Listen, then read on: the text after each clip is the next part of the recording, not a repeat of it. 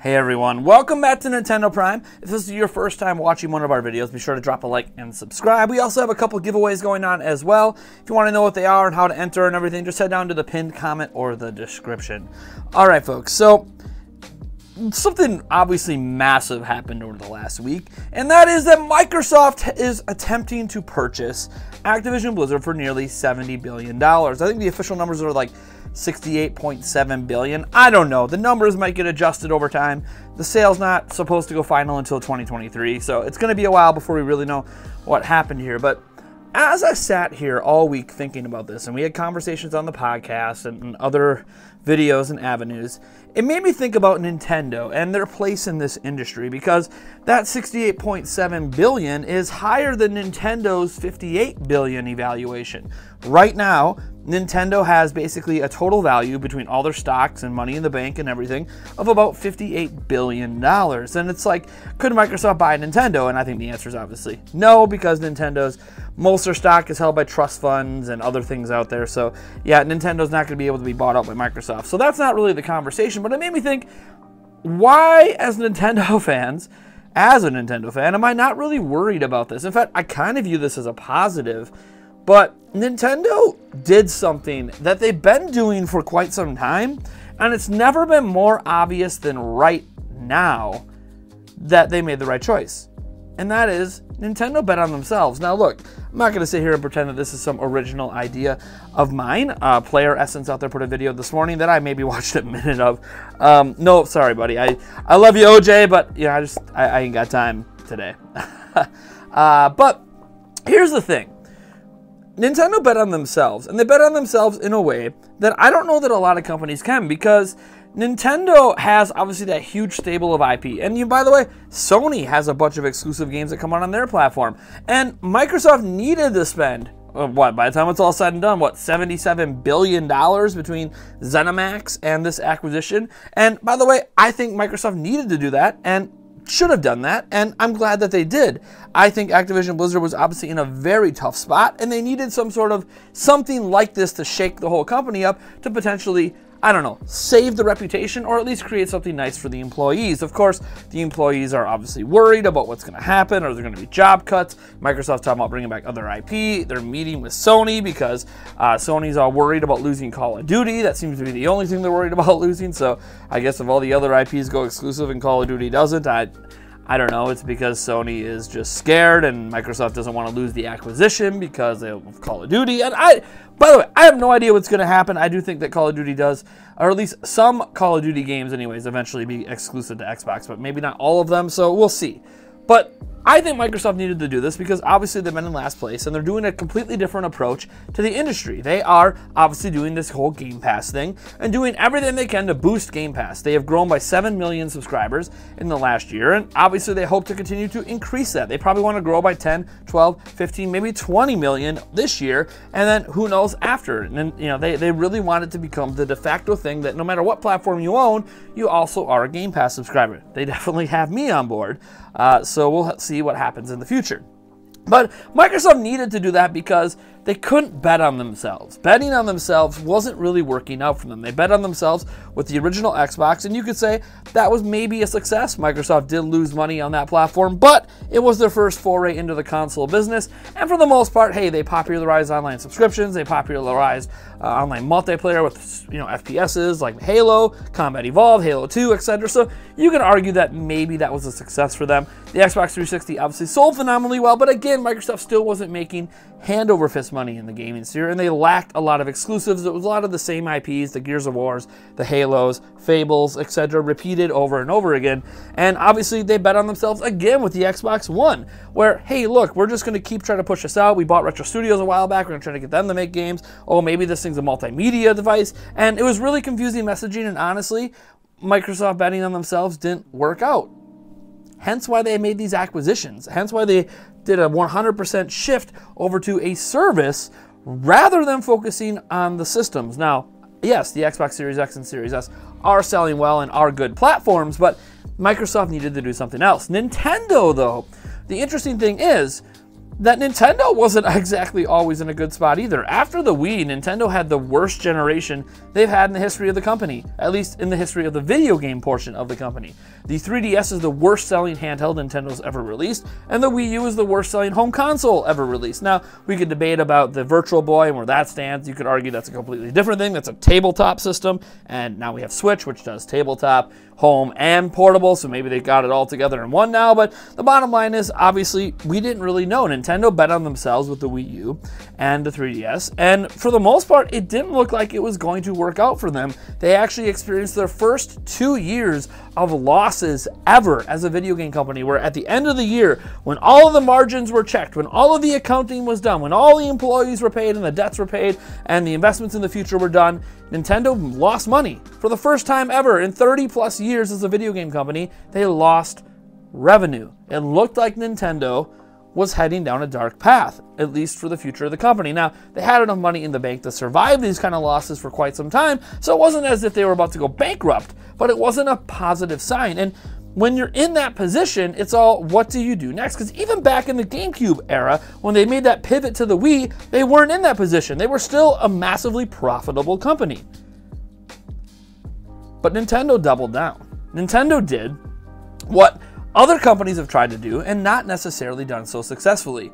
Nintendo doubled down and said, no, we're not going to go out and make a bunch of acquisitions. We're not going to try to buy Platinum Games. We're not going to try to buy out Tantalus. We're not going to try to buy out Panic Button or any of these other studios out there. Now, they did eventually purchase Next Level Games, and to be clear, Nintendo has made acquisitions. Retro Studios, Monolith Soft, and Next Level Games are three studios that Nintendo has wholly purchased over the last 20 years. So, yes, to be clear, Nintendo does purchase studios, but they don't like buy anything insane, anything that's market shifting, right? Nothing like what Microsoft is doing. And arguably, Sony has bought the bigger studios and Insomniac and um, obviously Naughty Dog. Like, they arguably are bigger studios, even though Next Level Games has actually had their games sell just as much as, say, Naughty Dog, but that's neither here nor there. The point is that Nintendo doesn't really acquire studios that much.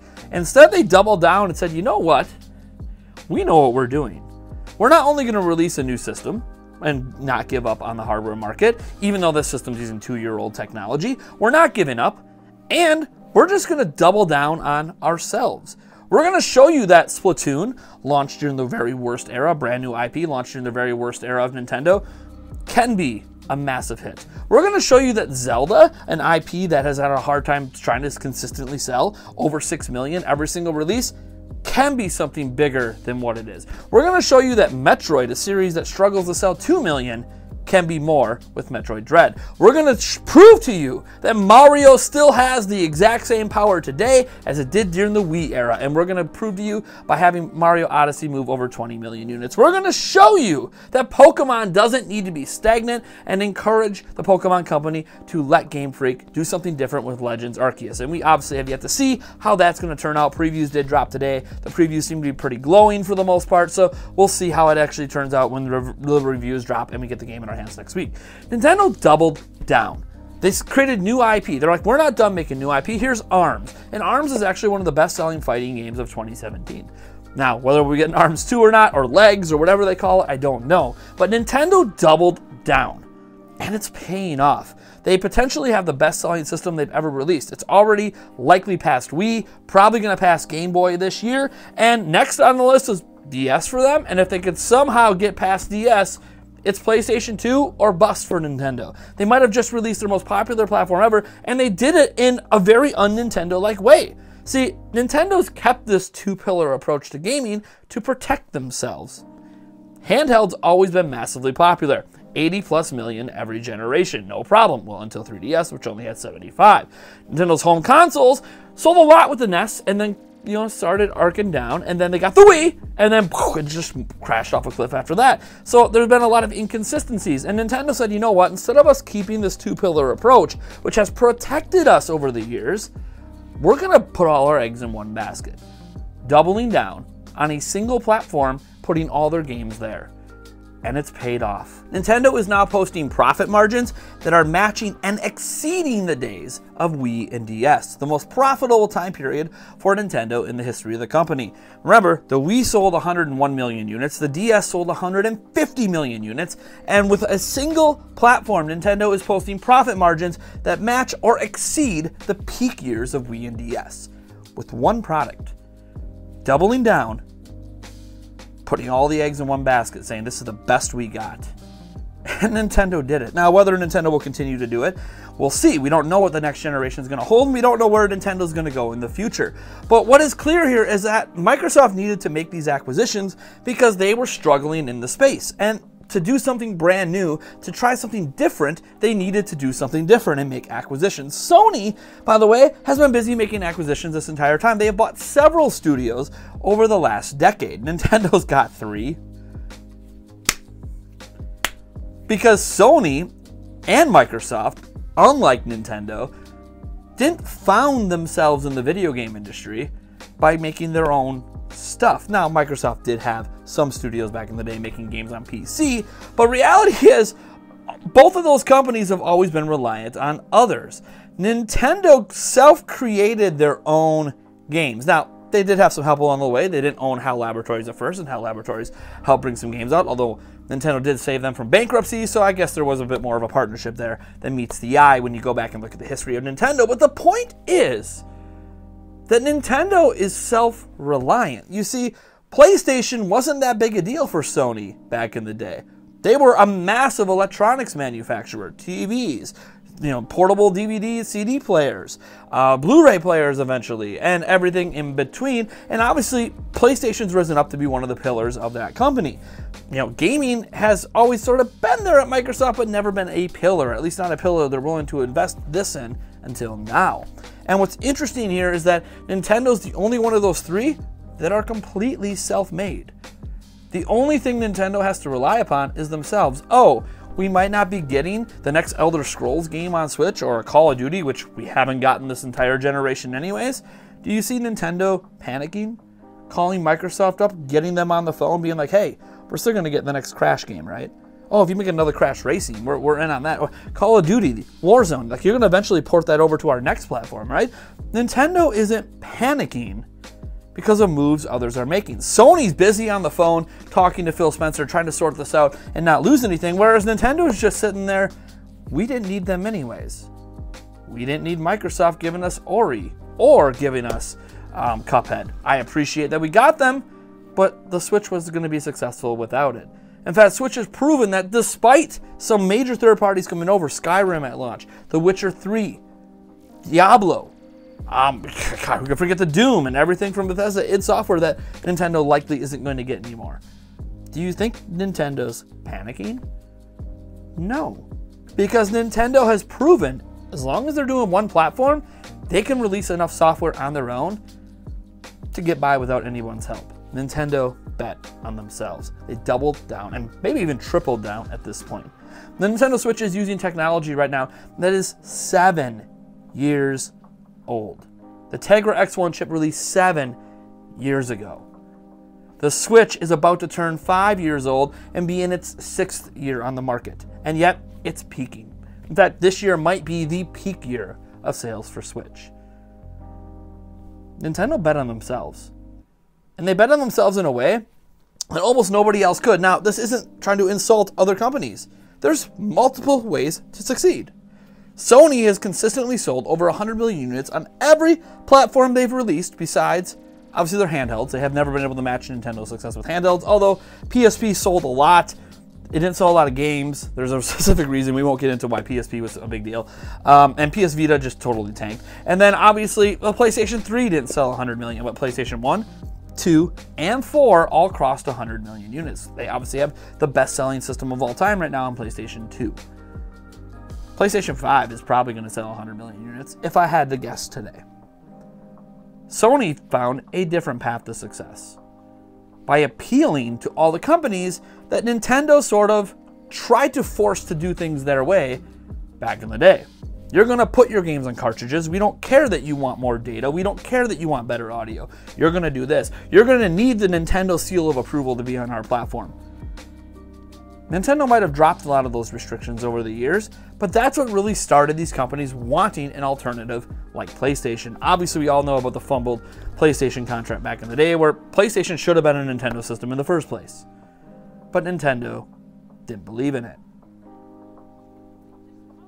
Bottom line is, Nintendo doubled down, tripled down, quadrupled down on themselves this generation, and they're reaping all of the benefits. They're using hardware that's seven years old, still have yet to do a single price drop on that hardware. Released a revision with a better OLED screen, a LAN port, and obviously just a better overall design with the kickstand. And they're making hand over fist profits on every sale of it. Now, the pandemic maybe helped, the Switch was massively successful before the pandemic ever arrived. It didn't need the pandemic to move 20 million units a year, it was already doing it. The Switch is in a precarious situation. It's in a jovial situation. It has an amazing lineup this year. And probably an amazing one in 2023. Nintendo is primed to be as successful as they want to be moving forward by just kind of doing their own thing, but doing it in a way that's smart and intelligent, betting on themselves rather than worrying about what anybody else is doing. Oh, the next Switch needs to have 4K DLSS. It needs to be more powerful than the Steam Deck. Does it? Steam Deck's not getting Smash Bros. Steam Deck's not getting Mario Kart and Zelda. At least not natively. Obviously, we all know about emulation. All they need is a powerful enough system that you can't successfully play their games on systems like that anymore. The whole reason Switch is easy to emulate is because Switch is seven year old technology. Guys, Nintendo bet on themselves. And so far, it's been the best bet in gaming. Microsoft's betting on their deep pockets from their parent company. No, Xbox is betting on that. Sony's betting on the fact that they found a way to sell 100 million units every time, and they're going to keep doing it. But Sony's still afraid of what Microsoft is doing. Nintendo's the only one not panicking here. Microsoft's worried about getting this the sale approved and appeasing everyone they can and not having the government block things. Sony's worried about losing a stable of IP that have sold very, very well on their platforms that have helped maintain Sony's market lead. And Nintendo's just sitting back, letting them duke it out and laughing their ways to the most profitable gaming company in the world. And you know what's even crazier? For as big as Sony is, because they're much bigger than, than anything to do with gaming, they own the Spider Man license for crying out loud for movies. All those Marvel Spider Man movies, yeah, Sony makes money off that. Guess what? Nintendo's still more profitable than them and the richest company in Japan. Folks, Nintendo made the right choice. And it's kind of cool watching Nintendo just do something different than everybody else. Again, except this time, it seems a bit more sustainable than a one off motion control system in 2006. All right, folks, I'm Nathaniel Rufflejans from Nintendo Prime. Thank you so much for tuning in, and let me know your thoughts on all this down in the comments below.